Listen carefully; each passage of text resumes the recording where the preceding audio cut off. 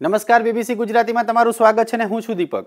ગુજરાતની અંદર આપણે ત્યાં ફરીથી હવામાન પલટાય તેવા સંજોગો દેખાઈ રહ્યા છે. હવામાન વિભાગે પણ આગાહી કરી છે કે ગુજરાતના કેટલાક વિસ્તારોની અંદર જે છે કદાચ છૂટો છવાયો વરસાદ થઈ શકે છે અને હવામાન પલટાય તેવી સંભાવનાઓ દેખાઈ રહી છે. તો કયા વિસ્તારોની અંદર આપણે ત્યાં હવામાન પલટાય એવી શક્યતા છે, કયા વિસ્તારોમાં છૂટાછવાયા વરસાદની શક્યતા છે, એની આપણે આ વિડીયોની અંદર વાત કરીશું.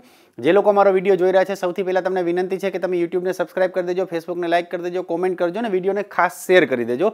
જેથી બીજા લોકોને આની માહિતી મળતી રહે. હવે અત્યારે જે છે સ્થિતિ ચાલી રહી, તમે જુઓ કે મોટે ભાગે, મોટા ભાગના વિસ્તારો જે છે, એની અંદરથી જે છે ચોમાસાએ વિદાય લઈ લીધી છે. તમે આ નકશો જોશો તો તમને ખબર પડશે કે ગુજરાત, સમગ્ર ગુજરાતમાંથી લઈ મહારાષ્ટ્ર જે છે મોટાભાગના મહારાષ્ટ્રમાંથી, પછી બાકીના ઉત્તર ભારતના વિસ્તારો છે, ઉત્તર પ્રદેશથી લઈને બધેમાં બિહારના કેટલાક વિસ્તારોથી લઈ, હવે જે બાકી છે કર્ણાટક છે, તેલંગાણા છે, છત્તીસગઢના કેટલાક વિસ્તારો, ઓડિશા અને પશ્ચિમ બંગાળના જે કેટલાક વિસ્તારો છે એની અંદર પણ હવે આવનારા દિવસોની અંદર ચોમાસું વિદાય લઈ લેશે. હવે ચોમાસાએ વિદાય લઈ લીધી છે, એનો અર્થ એ છે કે હવે જે આપણે વરસાદ આવશે બે એટલે બંગાળની ખાડીમાંથી આપણે આ તરફથી નહીં આવે. પરંતુ આપણે જે વાત કરીએ કે ભાઈ, જે પશ્ચિમ વિક્ષોભ જે આવે છે, કે જેને આપણે વેસ્ટર્ન ડિસ્ટર્બન્સ કહીએ છીએ, ત્યાંથી જે વરસાદ આવે છે, ત્યાંથી આપણે જે છે, એ આખું અહીંથી વરસાદ આવશે. અને આવનારા દિવસોની અંદર લગભગ ગુજરાતની અંદર જે છે, હવામાન વિભાગે જે આગાહી કરી છે એ મુજબ તમે જોઈએ આપણે અહીંયા. તો લગભગ જે છે એ પંદર, સોળ, સત્તર, અઢારની આસપાસ જે છે ઘણા બધા વિસ્તારોની અંદર આપણે ત્યાં હવામાન પલટાય તેવા સંજોગો દેખાઈ રહ્યા છે. કયા વિસ્તારોમાં છે એ પણ આપણે વાત કરીશું. એટલે હવામાન પલટાય તેવા સંજોગો દેખાઈ રહ્યા છે.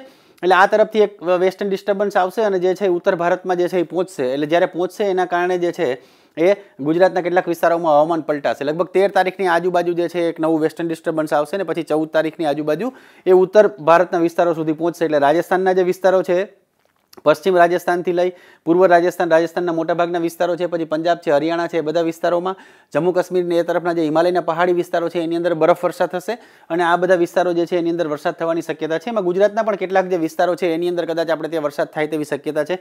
કારણ કે જ્યારે આવશે ત્યારે એનું કદાચ ઇન્ડ્યુસ સાયક્લોનિક સર્ક્યુલેશન એક બનશે પછી પવનો આપણે જે છે, એ હજી પણ અરબી સમુદ્ર ઉપરથી આવી રહ્યા છે. એટલે આ તરફથી જે પવનો આવે છે એ ભેજ લઈને આવશે અને એના કારણે આપણે ત્યાં વરસાદ થાય એવી શક્યતા છે, પરંતુ ભારેથી અતિભારે વરસાદની કોઈ શક્યતા નથી. હળવોથી મતલબ હળવો છૂટો છવાયો વરસાદ કોઈ વિસ્તારમાં થાય, કોઈ વિસ્તારમાં નહીં થાય, પરંતુ હવામાન પલટાય તેવા સંજોગો દેખાઈ રહ્યા છે.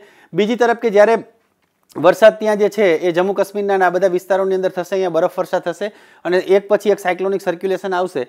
જ્યારે એ એટલે વેસ્ટર્ન ડિસ્ટર્બન્સ આવશે ને એના પછી સાયક્લોનિક સર્ક્યુલેશન કદાચ બનશે.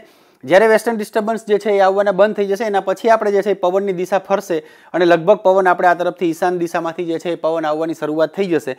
એટલે ઈશાન દિશામાંથી પવન આવવાની શરૂઆત થશે, એટલે આપણે ત્યાં ફરીથી જે છે, એ ઠંડીની શરૂઆત થઈ જશે. એટલે આ જે સ્થિતિ જે છે એ વેસ્ટર્ન ડિસ્ટર્બન્સને કારણે આપણે ત્યાં થવાની છે. એટલે ગુજરાતમાં ફરીથી આપણે જે છે એ થોડા ઘણા વરસાદના સંજોગો દેખાઈ રહ્યા છે. હવે હવામાન વિભાગે જે આગાહી કરી છે, એ મુજબ આપણે થોડું નકશા ઉપરથી બી થોડું ઘણું સમજીએ કે ભાઈ શું થશે. તો જે પંદર સોળ એમણે જે આગાહી કરી છે પંદર સોળની પણ તો સત્તર અઢાર ઓગણીસની આજુબાજુ બી ઘણા બધા વિસ્તારોની અંદર આપણે ત્યાં જે છે હવામાન પલટાયું પલટાયેલું રહે એવી શક્યતા દેખાઈ રહી છે. તેમાં કચ્છના કેટલાક વિસ્તારોમાં હવામાન પલટાશે બનાસકાંઠા છે, પાટણ છે, મહેસાણા છે, સાબરકાંઠા, ગાંધીનગર, અમદાવાદ, સુરેન્દ્રનગર, અરવલ્લી જે છે, ખેડાના કેટલાક વિસ્તારો, મહીસાગરના કેટલાક વિસ્તારો જે છે એના પછી બોટાદ, ભાવનગર, અમરેલી, રાજકોટના કેટલાક વિસ્તારો છે. આ બધા વિસ્તારોની અંદર હવામાન પલટાશે અને કદાચ કોઈ વિસ્તારોની અંદર આ બધા જે છે બનાસકાંઠાથી એટલે ઉત્તર ગુજરાતના કોઈ વિસ્તારો, મધ્ય ગુજરાત અને મધ્ય ગુજરાત અને ઉત્તર ગુજરાતના કોઈ વિસ્તારો છે, એની અંદર છૂટોછવાયો વરસાદ થવાની સંભાવના દેખાઈ રહી છે. એ સિવાય બોટાદ અને ભાવનગરના કેટલાક વિસ્તારો છે, એની અંદર પણ કદાચ છૂટો છવાયો વરસાદ થાય તેવી શક્યતા દેખાઈ રહી છે. એટલે લગભગ અડધાથી ઉપર ગુજરાત જે છે એની અંદર હવામાન પલટાય એવી શક્યતા દેખાઈ રહી છે. ઘણી બધી જગ્યાએ તમને વાદળા જોવા મળશે. અત્યારે ગરમી આપણે ત્યાં ચાલી જ રહી છે કે દિવસ દરમિયાન મહત્વનું તાપમાન જે છે એ વધી રહ્યું છે. એટલે આ બધા વિસ્તારોની અંદર જે છે એ તમને ફરીથી આપણે ત્યાં જે છે હવામાન પલટાયેલું દેખાશે. લગભગ આપણે ત્યાં પંદરથી લઈ અને ઓગણીસ વીસ તારીખ સુધી જે છે કેટલાક બધા વિસ્તારોની અંદર હવામાન પલટાયેલું દેખાશે. અને કોઈ વિસ્તારોમાં છૂટો છવાયો ક્યાંક આપણે છાટા છૂટી જેને કહીએ કે જેને ઝાપટા કહીએ, એ પ્રકારનો છૂટો છવાયો વરસાદ થાય તેવી શક્યતા દેખાઈ રહી છે. કોઈ જગ્યાએ કદાચ થોડો વધારે પણ વરસાદ પડે કોઈ એકાદ સ્થળોએ. બાકી આ જે છે લગભગ ચાર પાંચ દિવસ સુધી ગુજરાતની અંદર જે છે આપણેથી ફરીથી હવામાન પલટાય એવા સંજોગો અત્યારે દેખાઈ રહ્યા છે. હજી જે છે કારણ કે એના પછી પણ એક વેસ્ટર્ન ડિસ્ટર્બન્સ આવશે, એટલે જે વેસ્ટર્ન ડિસ્ટર્બન્સ છે એક બાદ એક આવ્યા રાખશે હમણાં, થોડા દિવસો સુધી. એટલે એની અસર જે છે કદાચ ગુજરાતના હવામાન ઉપર, એટલે આપણા જે વાતાવરણ છે એના ઉપર પડવાની શક્યતા. દેખાઈ રહી છે. એટલે ગુજરાતમાં લગભગ આવનારા ચાર પાંચ દિવસ સુધી હજી પણ આપણે વરસાદની શક્યતા દેખાઈ રહી છે અને એના પછી જે છે, એ કદાચ એ વેસ્ટર્ન ડિસ્ટર્બન્સ જતા રહેશે, પૂરા થશે, એના પછી આપણે ત્યાં પવનની દિશા પલટાશે અને જેને સૌરાષ્ટ્રમાં આપણે ભૂર વાવો, ભૂરનો પવન જે કહીએ છીએ, પવન એટલે ઈશાન દિશાના પવનો ફરીથી શરૂ થાય તેવી શક્યતા દેખાઈ રહી છે. વીડિયો તમને કેવો લાગ્યો? ચોક્કસ જણાવજો કોમેન્ટ કરજો અને વિડીયોને ખાસ શેર કરી દેજો.